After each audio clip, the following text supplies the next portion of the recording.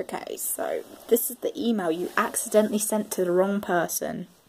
Dear Miss Brooks, we are pleased to inform you that your manuscript has been chosen for publication.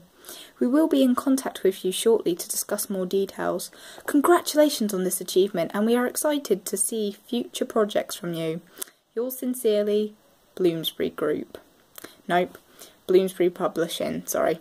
Yours sincerely, Bloomsbury. Bleh, I can't speak. Bloomsbury Publishing. That would be my worst nightmare. Like, imagine someone sends you an email saying your manuscript has been published, only to be that you were sent the wrong email. That would be soul destroying, and I pray that never happens. I think I would rather hear that I hadn't made it than have someone say, Oh, yeah, you've made it, and then, yeah, that would be horrible. I was just trying to think of the most soul destroying email you could send without making it cliche. And I've got the Bloomsbury group stuck in my head because that's what one of my colleagues refers to it as.